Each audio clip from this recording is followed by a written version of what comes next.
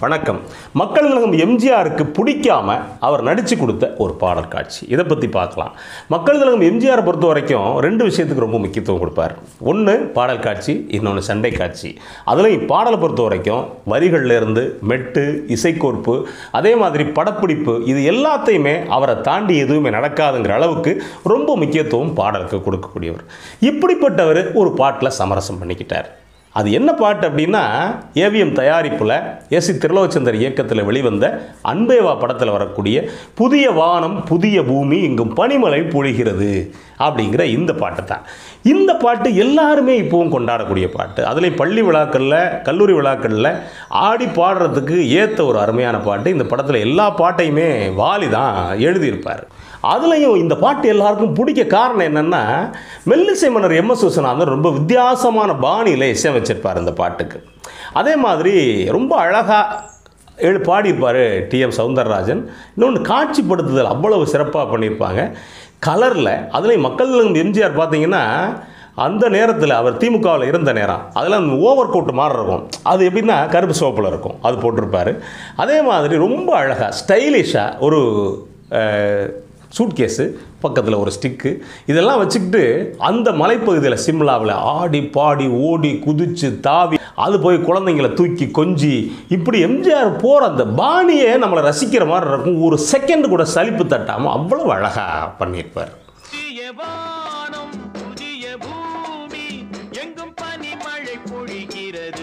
நான் வருகையிலே என்னை வரவேற்க வண்ண பூமழை பொழிகிறது அப்படின்னு எழுதியிருப்பாரு. அந்த புதிய வானம் கையில் அந்த காலத்தில் எக்கோ கிடையாது. சிரமப்பட்டு தான் பண்ணியிருக்காங்க. புதிய வானம். புதிய வானம் புதிய பூமி அப்படிங்கிறது கேட்க ரொம்ப அழகாக இருக்கும். முதல் சரணம் எப்படி இருக்கும்னா உதய சூரியனின் பார்வையிலே உலகம் விழித்து கொண்ட வேளையிலே இமயத்தில் வருடும் குளிர்காற்று எந்த எந்தன் இதயத்தை தொடுகிறது? அன்று இமயத்தில் சேரன் கொடி பறந்த அந்த காலம் தெரிகிறது. அந்த காலம் தெரிகிறது.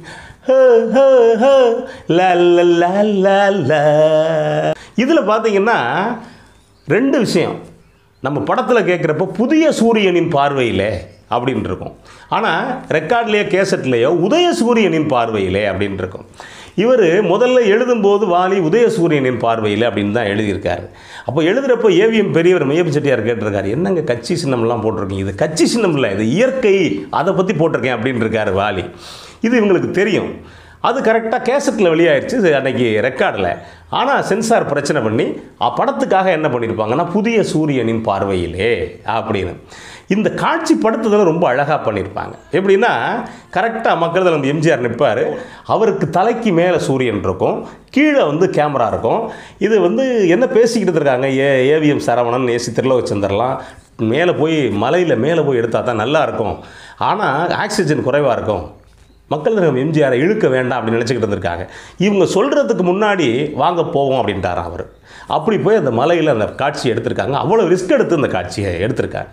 அதுக்கடுத்து எல்லா வரிகளுமே ரொம்ப அழகாக போட்டிருப்பார் வாலி. எப்படின்னா பிள்ளை கூட்டங்களை பார்க்கையிலே பிஞ்சு மொழிகளை கேட்கையிலே நல்லவரெல்லாம் நலம் பெறுவார் என்ற நம்பிக்கை பிறக்கிறது. இவர் வர வேண்டும் புகழ் பெற வேண்டும் என்ற ஆசை துடிக்கிறது அப்படின்னு. அதே மாதிரி மூணாவது சரணம் போட்டிருப்பார். இந்த ஜாதி எந்த ஜாதி என்ற பேதம் இல்லை மனிதர்கள் அன்பின் வழிதேடு இன்று இயற்கையை வணங்குகிறார். மலை உயர்ந்தது போல் அவர் உயர்கவென்று அப்படின்னு போய் இந்த பாட்டு ரொம்ப அழகாக முடியும். இப்போ கேட்டாலும் ரொம்ப சுறுசுறுப்பாக இருக்கக்கூடிய பாட்டு. இந்த பாட்டில் சிம்லாவில் எடுக்கிறதா தான் திட்டம். ஆனால் வெறும் அஞ்சு நாள் தான் சிம்லாவில் ஷூட் பண்ணியிருப்பாங்க மீதி எல்லாம் அதை ஒட்டி அதே மாதிரி இருக்கக்கூடிய ஊட்டியில் ஷூட் பண்ணியிருப்பாங்க இதில் என்ன மக்கள் எம்ஜிஆருக்கு குறை? அப்படின்னு நீங்கள் கேட்கலாம். பாட்டில் பல்லவியில் தான் அந்த பிரச்சனை. பல்லவியில் என்ன பிரச்சனை? வாலி சரியாக எழுதுறேன் அப்படின்னா கவிஞர்கள் எழுதிடுவாங்க இதுக்கு லொக்கேஷன் தேடுறதுக்கு ரொம்ப சிரமப்படுவாங்க. வாலி முதல்ல என்ன எழுதியிருப்பார் அப்படின்னா புதிய வானம். ஓகே.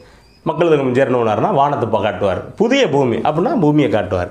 எங்கும் பனிமழை பொழிகிறது. அப்படின்னு வரி வரும். இவர் சொல்லிடுவார் ஆனால் இவங்க போன சீசன் என்னன்னா பனிப்பொழிவு இல்லாத சீசன் சீசன் சிம்லாவில் இப்போ பனியை காட்டுறது. என்ன செய்கிறது அப்படின்னா வந்தாச்சு. வேறு வழி இல்லை. நீங்கள் பாட்டத்தை பார்த்தீங்கன்னா தெரியும். பெரிய பொட்டைக்காட்டில் வெயில் அடிக்கிறது மாதிரி இருக்கும். அவர் முதல்ல இறங்கி ஓடும்போது. வேறு வழியே இல்லாமல் பனி பொழியாத இடத்துல பனிமழை பொழிகிறது அப்படின்னு எடுத்துட்டாங்க. அதோட கூட விடலை வாலி அதுக்கடுத்து வரி போட்டிருப்பார். நான் வருகையிலே என்னை வரவேற்க வண்ண பூமழை பொழிகிறது. எது? அதே பனி தான் பொழிகிறது அப்படின்னு எழுதியிருக்காரு. வேறு வழியே இல்லாமல் அஞ்சு நாள் அங்கே எடுத்துட்டாங்க. ஊட்டியில் அப்படிப்பட்ட பனிப்பொழிவை நீங்கள் பார்க்கவே முடியாது.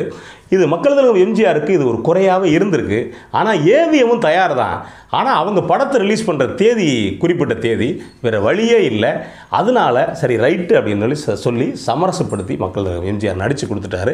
நாமளும் இந்த படத்தை விரும்பி விரும்பி பார்க்குறோம் பாட்டை அதுக்கு காரணம் என்னென்னா இது ஒன்றை தவிர மற்ற எல்லாமே சிறப்பாக அமைஞ்சதால் இந்த பாட்டு இன்றைக்கும் கேட்கக்கூடிய பாட்டாக இருக்குது அந்த வகையில் இந்த பாடலை பற்றி பேசி பேசியமைக்கு மகிழ்கிறேன். மீண்டும் வேறொரு தலைப்பில் சந்திக்கிறேன். நன்றி. வணக்கம்.